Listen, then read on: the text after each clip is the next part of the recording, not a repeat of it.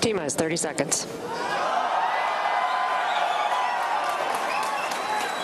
Launch director on countdown one. SpaceX Falcon Heavy, go for launch.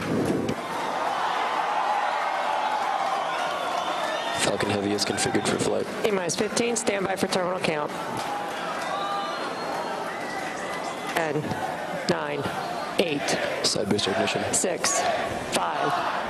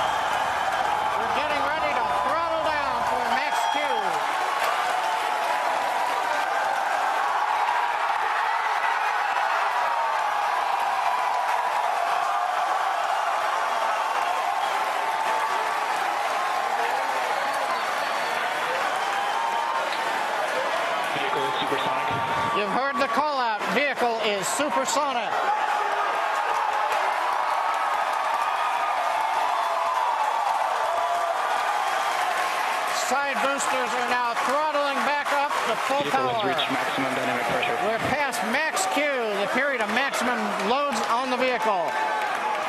Next up, we'll be waiting for the side boosters to begin to throttle down prior to booster engine cutoff and separation two and a half minutes into flight.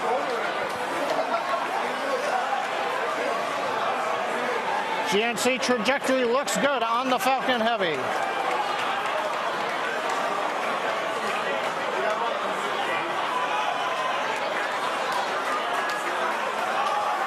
Reports show that the M1D engine performance is nominal. Contact engine has begun. Side boosters have begun to throttle down in preparation for the upcoming shutdown in 20 seconds.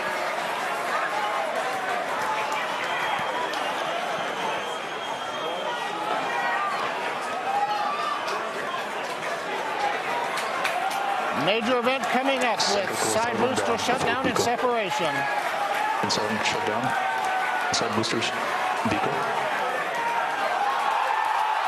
Center. We throttle them up. S1 keeps going.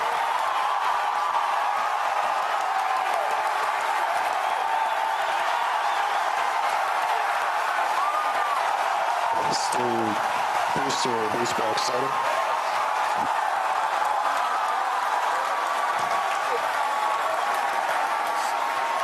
Successful separation. We're coming up on MECO and shutdown. Stay set. Separation confirmed. Event recognition. Boostback burn looks good on side boosters. Startup.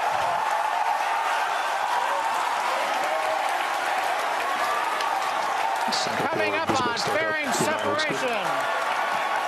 Center core, side engines on power, also look good.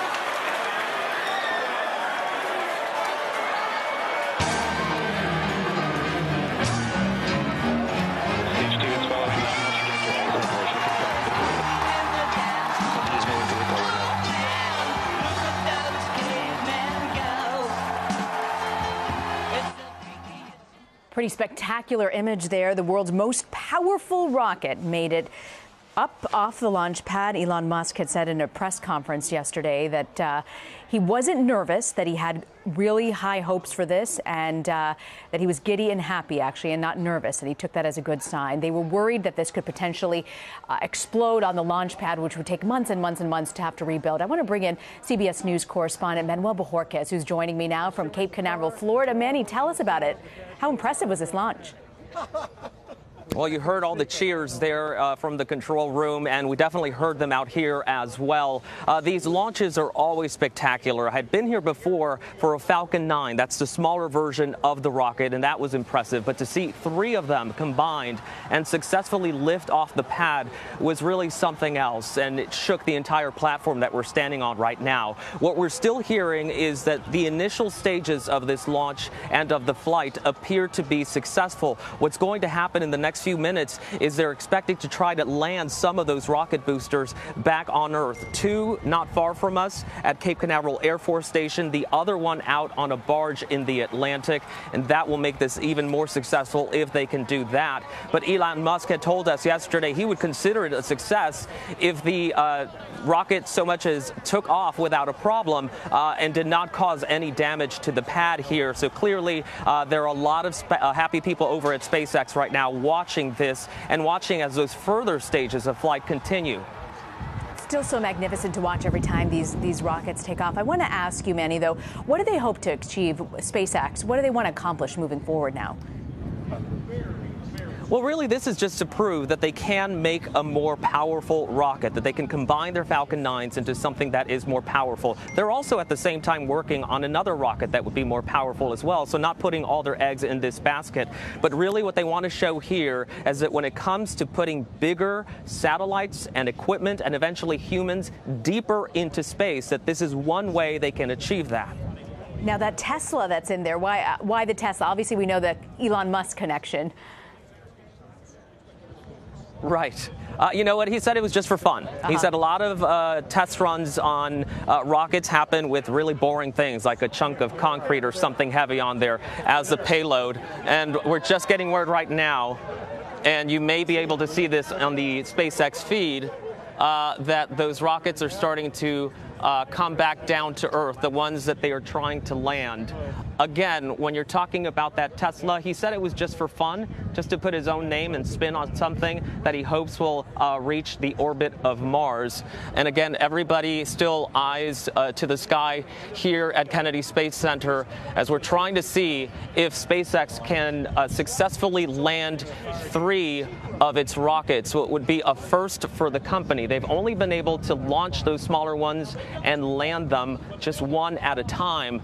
But again, uh, this is going to be a big deal for them if they can do it, if they can prove that this is something not only that they can do in order to get materials and people into space, but also the reusability is a big factor for them. They feel that's the best way to lessen the cost of air uh, space travel, uh, make it more affordable, and therefore make it so that you can send more stuff and more people into space, eventually uh, possibly on a mission to Mars with some interplanetary refueling. Again, all eyes to the sky here as we see in the distance, not too far, what appears to be those two rocket boosters now slowing on their descent to Earth. It's amazing that they can control that uh, and landing on two pads at Cape Canaveral Air Force Station. We are hearing right now, I'm not listening to their feed, but I can hear we are seeing many. Just applause. so you see the image, we see, what I believe, two uh, of them landing. Uh, right now, I believe is that image Cape Canaveral that we're looking at right there. I believe on the left-hand side of our screen, it is Cape Canaveral, and it looks uh, just from a, a layman's standpoint, Manny, that they were successfully able to land. It looks upright to me. What are you hearing?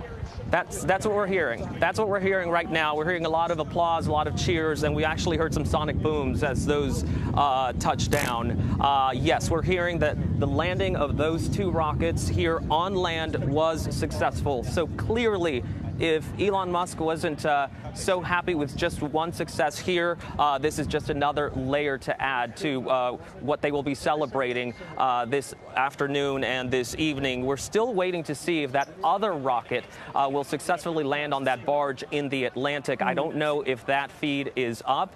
I think that one actually will happen even later because it's still trying to get the payload further out into space in order to make it reach its trajectory. Manny, we, we've heard they just lost a signal on that particular rocket. Tell me about the time frame, though. You said it's a little further out. Would it take several more minutes?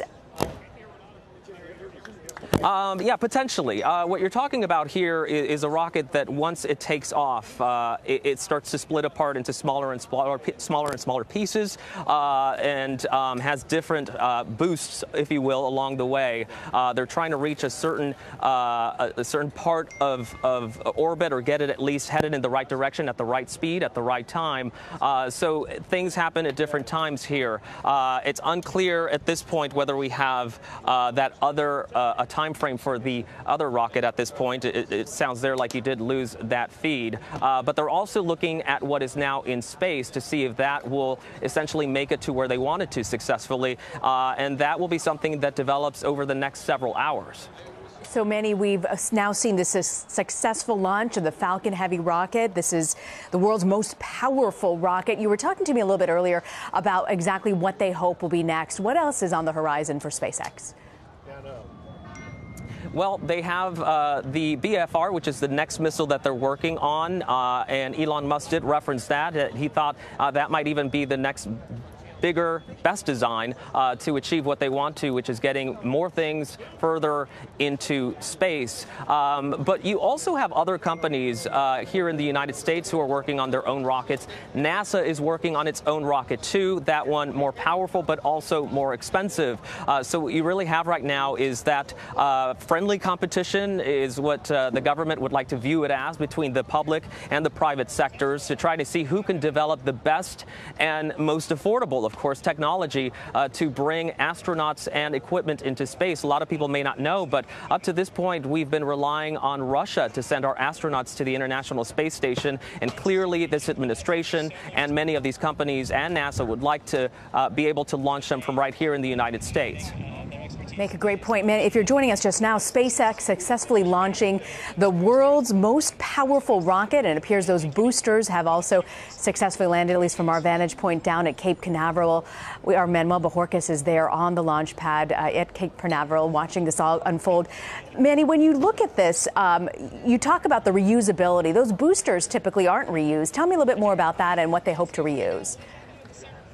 Right. If you think about the space shuttle program going back to when we were kids and seeing it lift off, uh, those were not reused as a one time thing. And there are still a lot of really powerful ones being developed uh, that will be a one time use type of thing. The good thing with that is that um, they are more powerful. So the payload, uh, they will be able to take more uh, heavier equipment and things into space. Uh, the trade off here is if you have a smaller one that is reusable, you may not be able to get that large of a payload, but you'll save money in being able to reuse that rocket. Uh, so really, two, uh, you know, you can balance uh, those two things out and think, well, what's better for us? Something that's one-time use and can carry more, or this kind of thing uh, that is reusable. But SpaceX, SpaceX, excuse me, is also looking at uh, space tourism, and that's something that these smaller rockets may be good for. Somebody who wants to pay to maybe take a trip around the moon. Uh, SpaceX announced it does have two passengers who would like to do that. Didn't reveal more about who they